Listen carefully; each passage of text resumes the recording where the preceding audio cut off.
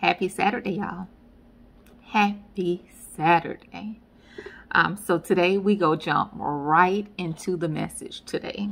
Go um, pray and go right in. Father God, I ask you in the mighty name of Jesus to decrease Shanika and your Holy Spirit increases. None of me, Father God, and all of you, Jesus. I also ask, Father God, that you would meet every need according to your will of anyone who is hearing this message. And by faith, I consider it done. And I'll always be ever careful to give you all the praise, to give you all the glory, because it belongs, Jesus, to only you. In these things, these things I pray in the mighty name of Jesus.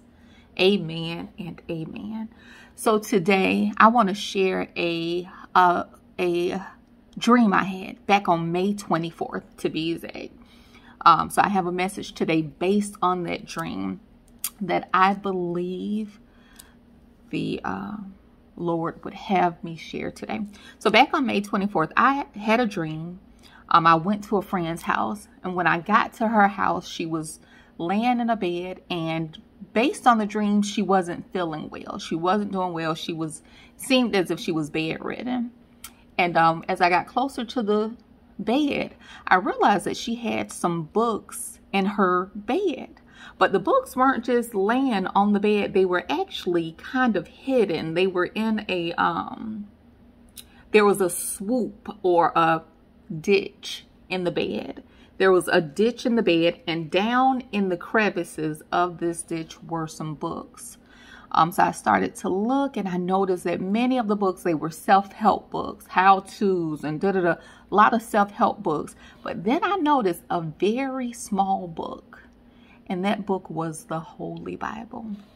So many large books and then there was a small book in this ditch in the bed. And um, so for today's message, let's start with, so that was the dream.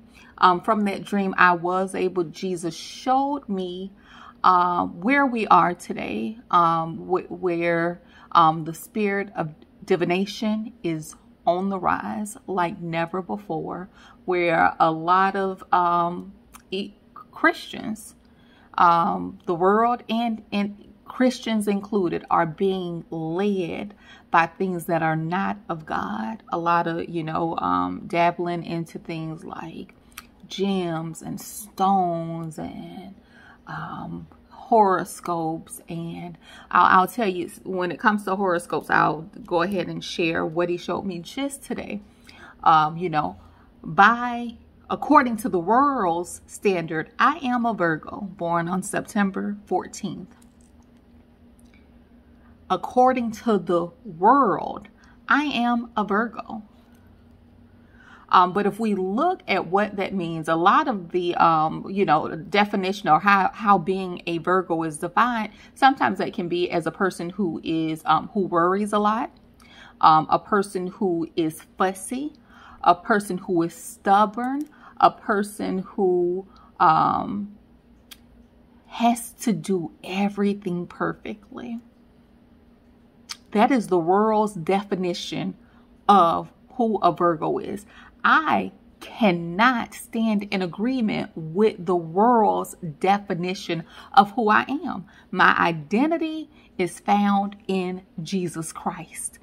And he has told us, he has warned us to condemn, to deny, to cast down everything that exalts itself against his truth. That isn't what Jesus says about me. So I cannot stand in agreement with what the world calls me. I hope, I hope that is making sense to you.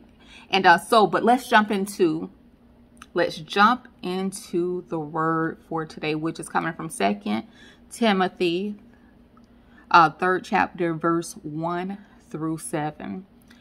And it reads, but mark this, there will be terrible times in the last days.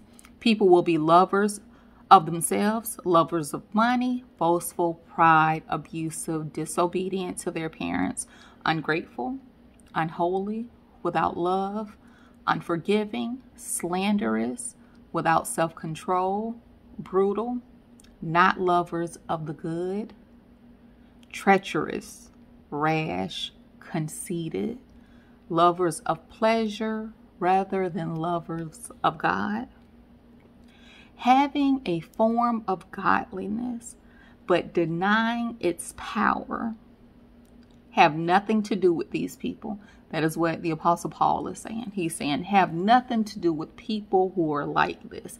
Having a form of godliness, but denying its power.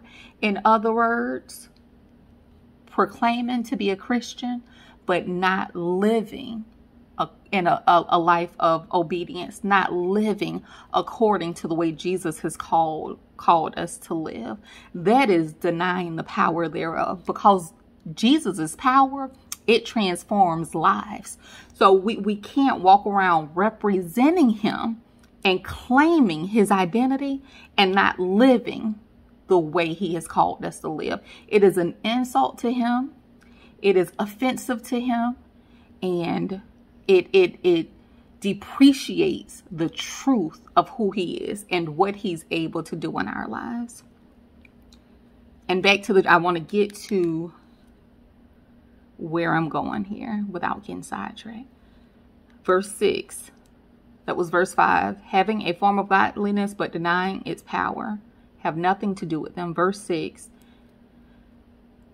They are the kind who they are the kind who want warm worm their way into homes and gain control over gullible women who are loaded down with sins and are swayed by all kinds of evil desires. The Message Bible describes it this way.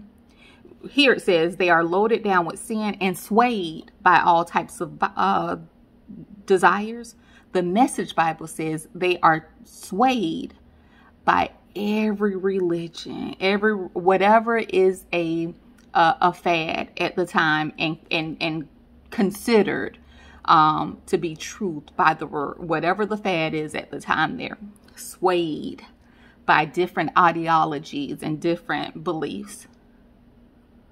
And here we are, and this goes back to the dream, the books, the books all of these different books and um, the miniature Bible. Verse 7 says, always learning, always learning, but never able to come to a knowledge of the truth. Always learning. We have information like never before. Social media, we have influencers right and left. We have a prophet, a prophetess around every corner. And these days we have itching ears. We're all looking for something spiritual. We're all looking for a word. We're all, we can idolize uh, prophets. And, and, and, you know, we, we can idolize them, always looking for um, a sign answers in books, sometimes in people. Um, when the truth is, the truth is his truth, a full understanding, coming into the knowledge of who he is, is a personal walk. It's a walk with Jesus through his word. This is the truth through his word. Not that there's anything wrong with um, learning and reading. Um, but again, I want to go to our um, second scripture today, um, which is Second Corinthians 10 through 5, which says, We destroy arguments and every lofty opinion raised against the knowledge of God. And we take every thought captive to obey God. That is Second Corinthians 10 5. We can only do this. Jesus is calling us, calling us to destroy any information, anything, any ideology, any belief, any religion, any any um idol worship, any um anything that goes against his truth. And so we have to go back to his word um, so that we can always stand on his truth and not be swayed not be swayed in a time when we know the antichrist spirit is always in the world and we know that it will deceive the most intelligent people. The he's calling us back to a place where we need to be able to discern a spirit. We need to be able to know. We need to be able to know and identify truth the truth from what is false.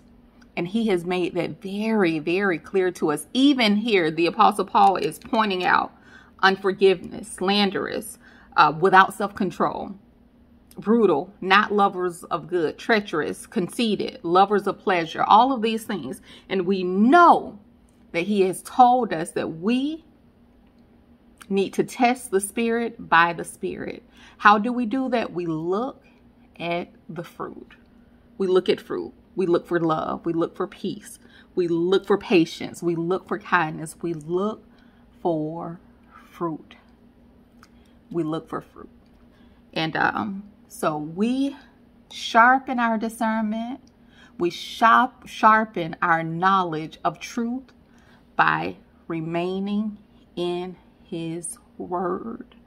By remaining in his word. Remaining in his in his word.